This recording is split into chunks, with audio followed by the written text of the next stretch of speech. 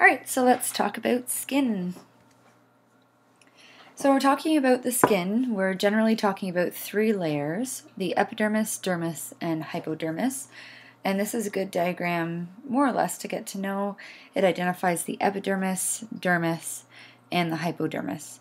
We'll talk about them a little bit more in detail. The hypodermis is mostly fat and vasculature.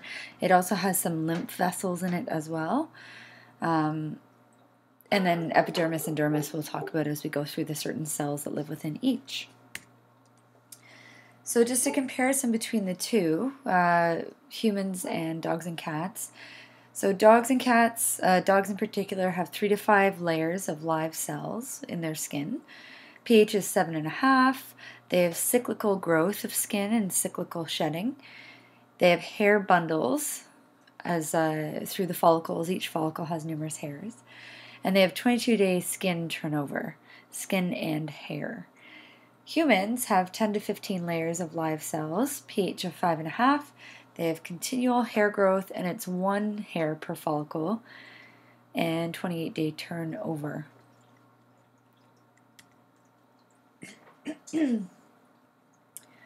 Looking at the epith or sorry epidermis here. Yeah, sorry, I'm just getting my place. So, looking at epithelial cells, as we get into cytology, we're going to look at various forms of epithelial cells and in various areas of the body. So, they start to change. They have general properties that are more or less the same wherever they are, but their overall physical properties can change slightly depending where they are in the body. So we'll definitely be looking at vaginal cytology, skin cytology, so just regular epithelial cells of the skin, ones that's redundant, but epithelial cells of the outer skin, right? The the most superficial skin, like tumors that we tend to look at, etc. So when we're looking at the layers in the epithelium, we have a few different layers. Oops as it carries on, it goes up. So it starts off with the, the basal layer. So the basal cells are at the very base, so the basement membrane, the very base of the stack of live cells. And basal cells are beautiful baby cells. They have ripe, juicy, round nuclei. They're fairly uniform in shape and size, and their cytoplasm is fairly small and concise. So that's the basal cells right there and we will at some point look at some basal cells in class. Really common for them to clump together and to be in sheets when you're looking at them on your slide. And then you get into these uh, keratinocytes. Well, basal cells are technically also keratinocytes. So we have basal cells, and then we call these intermediate cells. Okay, so they're not quite babies, they're not quite old dying cells, they're just in the middle. So they're just adult cells. And they start to vary a little bit in shape and size um, nucleus size, cytoplasm to nucleus ratio. So we've got, we generally call them keratinocytes, and as we carry on, we we'll call all the cells from here on out keratinocytes. So when we move up further, more superficially, so this is deep where the basal cells are, this is more superficial. We start getting into sort of keratinocytes that have seen better days. So they start to lose their bouncy intermediate shape, so they're nice hexagonal or round shape. Their nuclei start to change shape. They start to become a little bit more pycnotic, so a little bit more small. And then as they continue to get pushed up superficially, they start to die. So at the very top are dead keratinocytes, and they have no nucleus. They've lost their nucleus. Um, or they may have a very tiny, tiny pycnotic nucleus, but typically by the time they're dead, their nucleus is completely gone and they're sloughing off. So, that is if you scratch your skin a little bit hard in the winter and you see all that flaky, wonderful white stuff falling off, those are dead keratinocytes. So, a lot of times when we're taking skin cell samples, we're getting a lot of dead keratinocytes because they're the most readily available. They've lost a lot of their adhesion to other cells and they tend to just flake off. Now, just keep in mind again, basal cells are starting, uh, so keratinocytes essentially are starting at the very basement layer, okay, very deep layer of the epidermis, and working their way up. And as they work their way up, they're changing shape and size, and slowly their nucleus is dying. Um, as they start getting up to the the more superficial keratinocytes, lipids are injected onto the keratinocytes, even in the intermediate stage. So after they lose their basal shape and size, basal cell shape and size. They start getting up into intermediate keratinocytes. Lipids are covering them to help waterproof so that as they reach the most superficial area of the skin, they're waterproofing and protecting that skin. So they form a barrier. So if you think about it, basal cells are baby cells. Okay, they're fresh, they're round, they have beautiful, big, juicy nuclei. And keratinocytes, especially um, keratinocytes as they age and become intermediate keratinocytes, become sort of the older folks, okay? Intermediate and beyond. And then lastly, this amazing guy, we have dead, dead keratinocytes, which are still covered in a lipid um, coating. So they still provide a protective barrier for the skin, but they've lost their adhesion to other cells, so they readily exfoliate. That's the term to use. They readily exfoliate, meaning that they leave the body and they leave their other cells extremely quickly.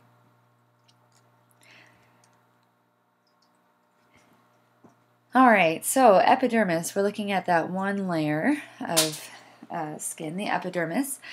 So we've got keratinocytes, they produce keratin, the tough, fibrous, waterproof protein that gives skin its resiliency and strength.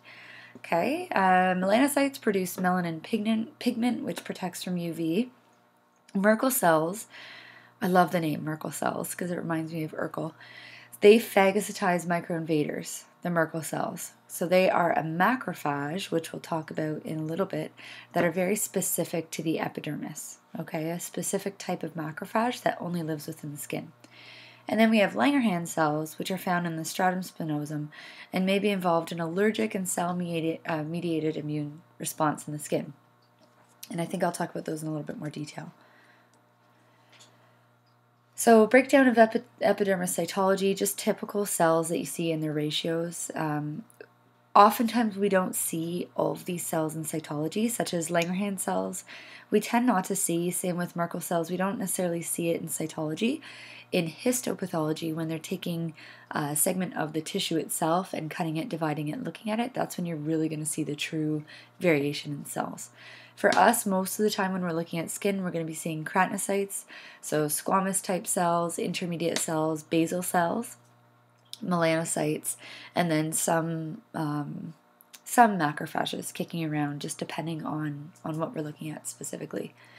So 85% keratinocytes, 5% melanocytes, 8% Langerhans cells, 2% miscellaneous, including white blood cells and Merkel cells, and then you get cholesterol crystals and fat and I'll talk about those as well. So, like we said, I said, keratinocytes are a moisture barrier as they work their way from the basal cell layer. So, keratinocytes are basal cells. Basal cell is the baby form. And then in the middle, they become intermediate. And then we typically just call them keratinocytes and dead keratinocytes as they reach the superficial surface. But when they're at the basal cell layer, as they're leaving that basal layer, uh, lipid coats them, and they use that along with the. Um, oh, I can't remember. Right. Um, nope, forgotten. It's out of my head. but they use that. Let me go back. My goodness. Keratin, sorry. so they use that lipid and keratin to protect and to create that barrier from the outside world into the skin. They also have uh, antimicrobial defense. There's some phagocytosis that occurs. Uh, keratinocytes sometimes can phagocytize bacteria and foreign invaders. They have those immune messenger cells, um, or sorry, they have slight immune messaging capabilities within them. And there are keratinocytes with melanin, and those are from melanocytes that have spread their uh, granules onto keratinocytes.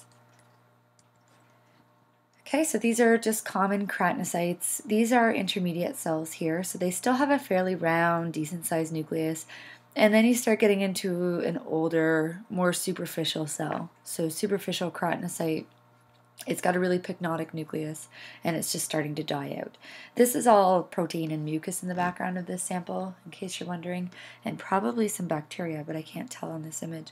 But these cloudy figures, really thin cytoplasm, look corn flaky. Those are typical keratinocytes in the intermediate to superficial stage. Okay, likewise with these guys, intermediate to superficial, and also they have a whole bunch of white blood cells in the background. So squamous cells, what we typically see in urine, are more toward the superficial stage of keratinocytes, where they have a pycnotic or no nucleus at all. This is a common finding when you're doing a skin sample, whether it be skin scraping, uh, skin swab, any sort of skin um, sampling. So in this one in particular, you can see small little rod bacteria. And in these ones, you see these giant structures that are just hanging out on the keratinocytes.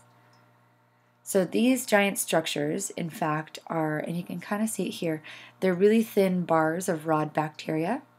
Okay, really thin bars of rod bacteria. You can see how those, those ones are breaking up. And it's called Simonsiella species. It's a normal bacteria that's found on the skin. It's not it's not harmful. It won't spread. And we see it when animals no, uh, it's just hanging out on the skin. Sorry, what I was going to say is sometimes you see Simonsiella bacteria on uh, vaginal swabs. Okay, we'll, we'll get into vaginal swabs. Sometimes you'll see it there, or on oral mouth swabs, and that's because of grooming. Because of grooming, you'll see this bacteria. But it normally resides on the skin and it's non harmful. That stuff, I don't know what that is. It's a rod bacteria. Maybe that's harmful. But Simonsiella, it's fine. Okay, melanocytes. Uh, they carry melanin, so lots of little granules of melanin. So this in itself is a melanocyte. Now it's really hard to tell because the melanocyte itself, the whole cytoplasm is covered by melanin granules. And melanin granules are typically, I find that they look purple. However, sometimes they can look black or green, which is kind of strange to see a lot of green in a cell. So this is outlining the cytoplasm, and then they have a round purple juicy nucleus, as with everything that we'll ever talk about in this course. So the pigment, they can release the melanin into surrounding tissue and onto the surrounding keratinocytes, and the melanin in general absorbs UV. So this is a good example of purple melanocytes. So beautiful, nice, round nucleus, and then they have this sort of, um, well, they can change shape, and we'll talk about melanocytes a little bit more when we talk about, I think we talk about them with neoplasia, because they can change shapes depending on which tissue they originated from or which uh, tissue they're closely living with. So these ones are sort of wispy, non um, descript. it's a silly term, but nondescript cytoplasm, just wispy, lack of shape, and then they have that round purple nucleus. And in their cytoplasms, it's all covered in those really dark purple fine granules. And some of them are more granulated than others, like that one, or like that one, more granul- heavily granulated than others. And then we have a neutrophil and red blood cells kicking around. This is a melanocyte that's slightly more green, so just to see the variation in color. Okay, so Langerhans cells, uh, they're epidermal macrophages, so specific to the epidermis. They're dendritic, meaning that they have little fingers, so I always picture little jazz hands coming off of them.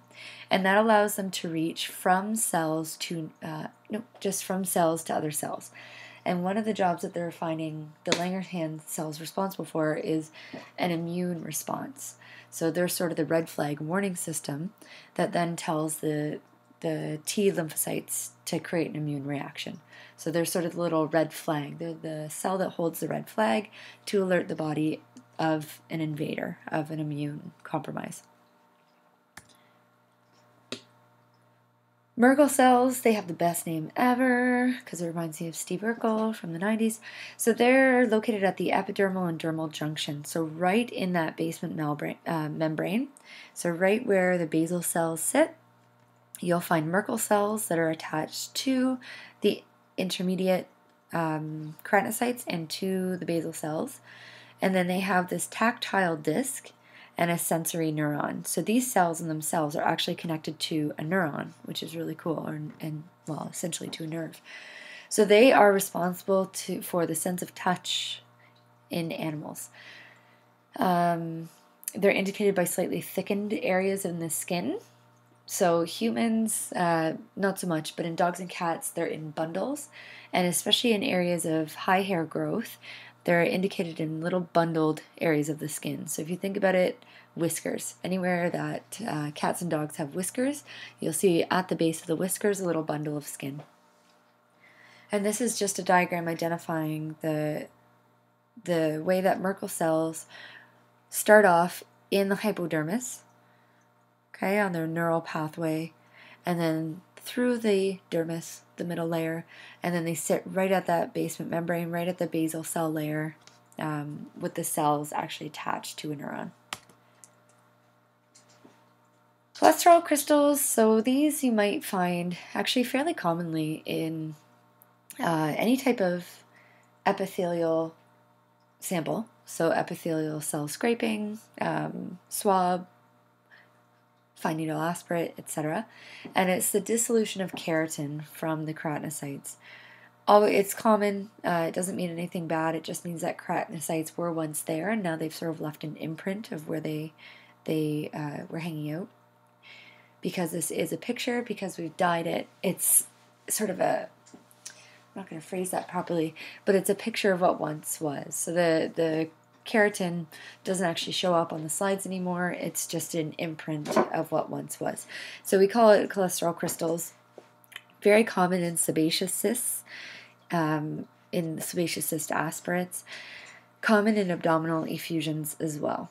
Okay, so a lot of broken down cells. Essentially, that's what these are referring to, or these are indicating, is that there was a sample with lots of healthy skin cells, but those skin cells have been there for so long, they start to break down, and uh, it's the dissolution of keratin. This is a sebaceous cyst. If you haven't seen one, oh, the joys, just get really excited. So it's a cyst that lives in a gland in the skin and it becomes really big. Clients always get really nervous about them. What is it? Is it a tumor? And then when you express them, you get all this disgusting, wonderful cottage cheesy type material out of them. Sometimes you don't get cottage cheese, sometimes you also get a liquid or a plug, and then it goes from there, but they're super fun to express. Although you should only express them under the directive of a veterinarian. You shouldn't go around pinching people's animals, although sometimes we do. Okay, so these are cholesterol crystals. Again, uh, really proteinaceous background on this slide. We'll talk about that later in the course, but this is probably an abdominal effusion or a thoracic effusion. But just to note that those, what they are, and that you might come across them in your, in your uh, slides. All right, so now we're going to look briefly at the dermis. So the dermis, uh, we have lots of these little cells called fibroblasts. And fibroblasts, I always think of elastoplast, the band-aids. They're they're responsible for wound healing. They have collagen fibers, and they, they basically act as a little band-aid. So they're the wound healers that work their way up to the infection and start sealing it off um, with fiber, with structure. So just looking at this, these are all fibroblasts. Okay, now fibroblasts are a spindle cell. So that being said, they have a nucleus in the middle and then wisps on one or either side. And you can see this is quite a clump of them, and there's smaller ones all throughout. So those are fibroblasts, not uncommon to see, especially if you take a deep um, epithelial tissue sample to see fibroblasts. Fibroblasts also you can get fibrosarcoma, which is not terribly uncommon, and that's a really bad malignant cancer of the fibroblasts. So it's when they start changing shape and form and multiplying like crazy. In the dermis, you can also see macrophages and mast cells as well. Macrophages we'll talk about in detail. They are white blood cells that started off as monocytes in the peripheral bloodstream, and then as they work their way into tissue, they then become this thing called a macrophage, and macrophages seek to destroy. So they just jolt around the body, they have their little areas that they attend to, and basically they scavenge. So they go through and they eat and destroy foreign invaders, um, other white blood cells, old cells, etc. So they're like little vacuums of the, the tissues. And some areas of the body have very specific macrophages. So I mentioned before we were talking about uh, the skin, the, the epidermis having its own set of macrophages. It's not uncommon throughout the skin, or sorry, throughout the body to have certain designated macrophages for that specific area of the body. We will talk about this in detail, so I'm not going to go too much into macrophages now. Mast cells are an inflammatory response. They are covered in histamine granules, and they degranulate, the vessels dilate, they become very permeable. So when you have an abundance of mast cells, typically it's a mast cell tumor, and the skin looks very red, uh, very angry because it's really dilated vessels, okay? Very dilated, permeable vessels. So that being said, if we are taking a fine needle biopsy of um, what we suspect might be a mast cell tumor, or if the veterinarian's taking a sample of what they suspect to be a mast cell tumor, we should always, you know, happily remind or be aware of the fact that we should, in fact, be giving that animal Benadryl ahead of time to reduce the histamine reaction. Because if they have a major histamine reaction, so if they poke, they disturb a mast cell tumor, it can release an extensive amount of histamine into the local bloodstream. It opens up those vessels, everything becomes permeable, and they can essentially have an anaphylactic reaction. Super rare, but it can happen. Likewise, they can just have a moderate allergic reaction too, which we can avoid often by giving Benadryl diphenhydramine ahead of time. These are mast cells. They're super cool, really easy to identify, um, in my opinion, not everybody's opinion but in my opinion, when they're stained with new methylene blue, and they're just beautiful round cells with a really round nucleus, and they're just typically covered in these tiny little purple granules. Really neat. Okay, there's mast cells, and they do degranulate, right? So they degranulate when they're disturbed. So when we take slides, or when we take a sample and create slides, they often get disturbed and start to release their, their histamine granules that's what gets released into the bloodstream and can cause an allergic reaction. So this is very suspicious of a mast cell tumor, and in the end, it was a mast cell tumor. The skin's really red. They're often very, very round, and one. There's typically just one, which I know sounds silly, but in some cases, you see more than one lesion popping up. Cats, it's not uncommon to find mast cell tumors on the head and with cats, recurrence is higher than it is with dogs. Cats also tend to get mast cell tumors um, in their abdomen, so in their gut, more often than dogs, and it's sort of a silent killer because it causes cats to have uh, vomiting and diarrhea, and we all know everything in life causes cats to have vomiting and diarrhea, so it can often go undiagnosed.